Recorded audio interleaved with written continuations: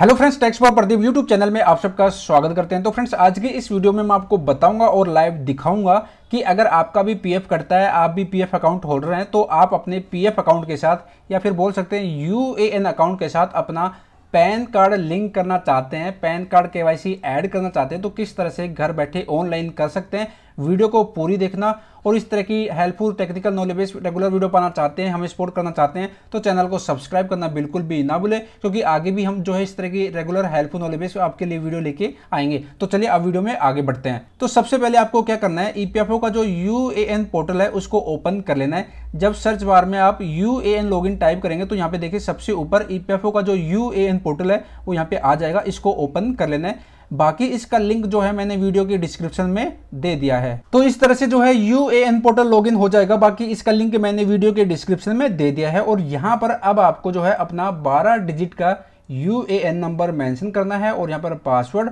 और जो captcha code है, यहाँ पे मेंशन करके साइन इन कर लेना है। अगर आप अपना यू ए एन का पासवर्ड भूल गए हैं तो देखिए फॉरगेट पासवर्ड का ऑप्शन है।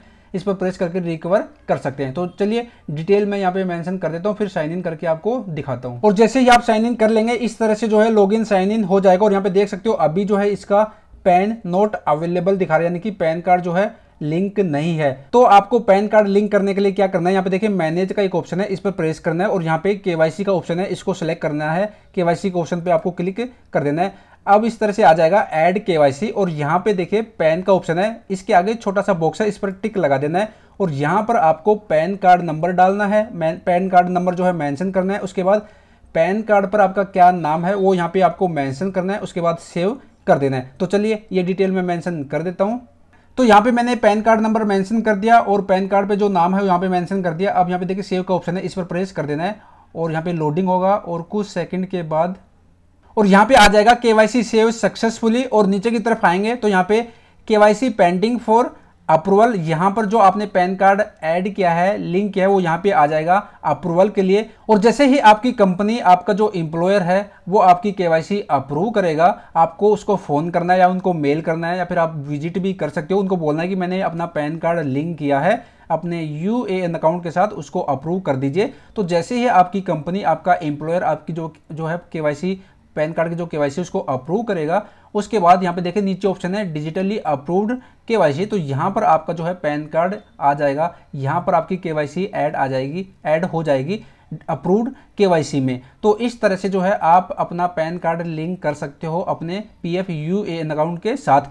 अगर पैन कार्ड के अलावा आपको bank account Aadhaar passport driving licence election card ration card national population register अगर आपको लिंक करना है, ऐड करना है तो सेम इनका भी यही प्रोसेस है।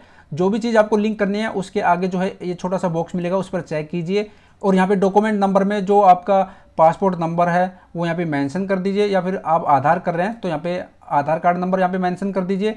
और जो भी आपके डॉक्यूमेंट में जो नाम है वो यहाँ पे मेंशन कर दिए, उसके बाद सेव कर दीजिए। तो दोस्तों, आशा करता हूँ ये जानकारी, ये इन्फॉर्मेशन मैंने आपके साथ शेयर करी, आपको अच्छी लगी होगी। और इस तरह की जो है regular video helpful knowledge video पाना चाहते हैं चैनल पर पहली बार वीडियो देख रहे हैं तो चैनल को सब्सक्राइब करना बिल्कुल भी ना भूले।